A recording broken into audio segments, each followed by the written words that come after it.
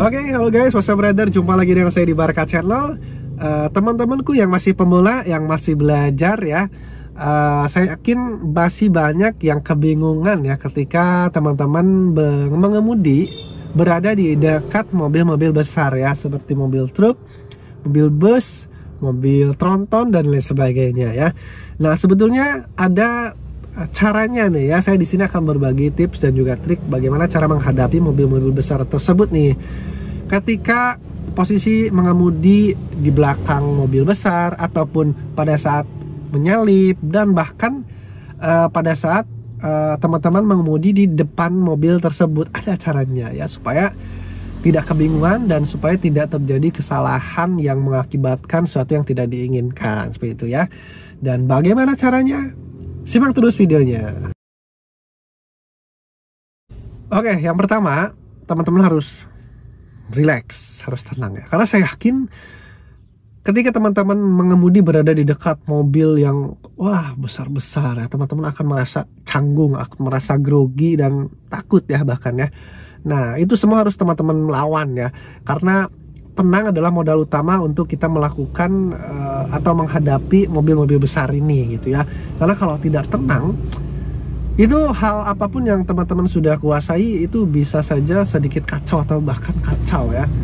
Dan itu bisa dan tidak tenang ini atau ketakutan ini itu bisa jadi uh, apa ya alasan utama terjadinya hal-hal yang tidak diinginkan sebetulnya.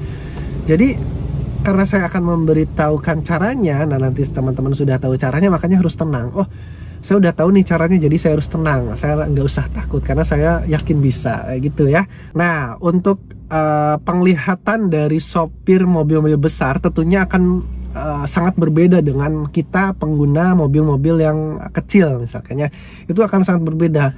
Uh, jangkauan penglihatan dari uh, sopir mobil-mobil besar itu biasanya uh, apa ya tidak tidak banyak, tidak luas seperti uh, kita mengendarai mobil-mobil kecil. Jadi pasti akan banyak blind spot ataupun spot-spot yang tidak dijangkau oleh sopir uh, mobil besar tersebut. Makanya yang harus kita lakukan adalah hindari uh, spot-spot atau posisi-posisi yang tidak di, dilihat oleh sopir mobil besar tersebut seperti itu. Sebelah mana saja yang harus uh, spot-spot yang tidak dapat dilihat oleh sopir mobil besar itu? Nah, pada dasarnya uh, lokasi yang tidak terlihat oleh kaca spion aja itu pada dasarnya yang tidak bisa terlihat oleh kaca spion dari si sopir yaitu blind spot ya. Maka kita harus senantiasa menghindari Eh, lokasi-lokasi uh, tersebut. Nah, yang selanjutnya jaga jarak ya. Jadi bukan hanya virus yang harus dijaga jarak ya. Ini juga teman-teman harus bisa jaga jarak ya. Karena kalau terlalu dekat uh, apabila teman-teman berada di tepat di belakang mobil besar tersebut itu akan berpotensi kecelakaan ya. Karena menurut teori juga ada ilmu yang menyebutkan apabila teman-teman terlalu nempel nih mobil kecil terlalu nempel dengan mobil besar tepat di belakangnya itu kecepatan mobil yang ada di belakang itu ikut bertambah gitu lah. Jadi hembusan angin dari bawaan mobil besarnya itu e, membawa kita menjadi lebih cepat juga speednya gitu. Jadi itu terlalu bahaya lah. Jadi jaga jarak ya sekitar mungkin 3 meteran gitu ya e, idealnya gitu ya. Jangan terlalu dekat karena apabila mobil besar tersebut ada kendala yang harus menyebabkan mobil tersebut uh, berhenti secara mendadak, ah itu akan sangat berbahaya sekali ya. Ingat jaga jarak ya, jaga jarak.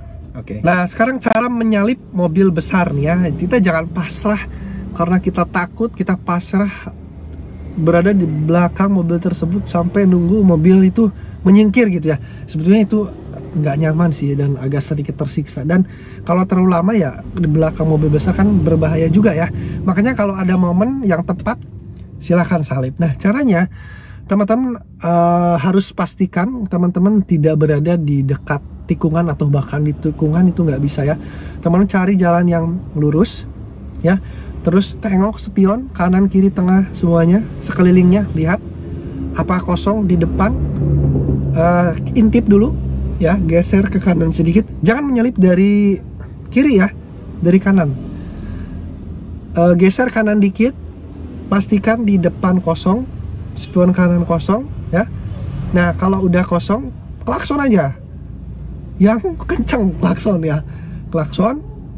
Nah lalu setelah itu sudah dipastikan kosong silahkan manuver lalu tancap gas ya. Seperti itu. Jadi harus betul-betul perhatikan sekeliling ya. Jadi klakson fungsikan aja klakson. Jangan malu-malu untuk klakson. Klakson. Nah, selanjutnya untuk menyalip nih ya gigi yang harus dipakai itu gigi berapa sih? Nah untuk nyalip idealnya gigi yang dipakai itu bisa gigi dua ataupun gigi tiga ya. Bahkan untuk mengawali bila mana teman-teman berada di posisi yang pelan itu gigi satu juga bisa ya. Itu tergantung situasi dan kondisional dari momen pada saat teman-teman akan nyalip sih ya. Kalau kecepatan rendah ya dari gigi satu mulai supaya memacu uh, kecepatan di awal setelah terpacu langsung over ke gigi dua. Plus kan lanjut gigi tiga kayak gitu. Kalau di kecepatan agak tinggi boleh pakai gigi dua dulu ya karena supaya memacu juga. Kalau kecepatan tinggi kalau di gigi dua itu kan gigi rendah kan bedanya dengan gigi yang atas kan putaran awal itu lebih tarikannya lebih bus gitu kan. Nah jadi sarankan gigi dua gigi tiga ya. Kalaupun pelan gigi satu. Kayak gitu ya. Untuk pemilihan gigi yang eh, eh, baik untuk pas nyalip gitu ya. Nah sekarang bagaimana ketika posisi mengemudi teman-teman itu berada di depan mobil besarnya ya. Jadi mobil besarnya ada di belakang tuh ya apa nih tipsnya ya yang pasti teman-teman hindari wajib hindari pemberhentian yang mendadak atau manuver yang mendadak apalagi tanpa memberikan aba-aba seperti lampu sen ya itu bahaya banget jadi pastikan berikan aba-aba sebelum melakukan manuver apa pun e, memelankan kecepatan berhenti belok dan sebagainya itu jangan sekali-kali mendadak ya karena itu sangat berbahaya. Kenapa? Kalau mobil kecil mungkin ngerem bisa langsung ngerem. Ini mobil besar nggak bisa ya, nggak bisa.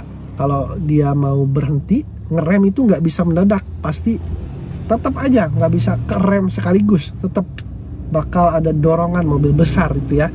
Makanya sangat berbahaya.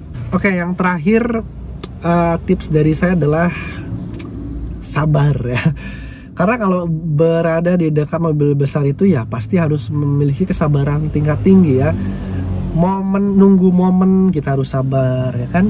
Nunggu jalan yang pas untuk nyalip kita harus sabar ya kan? Pokoknya banyak banyak sabar aja oke? Okay? uh, eh, kalau nggak kalau emosi itu bahaya. Udah pokoknya intinya sabar aja. Oke okay, teman-teman mungkin itu beberapa tips atau cara uh, yang sudah saya sharing ya ke teman-teman. Gimana cara menghadapi mobil-mobil besar ya.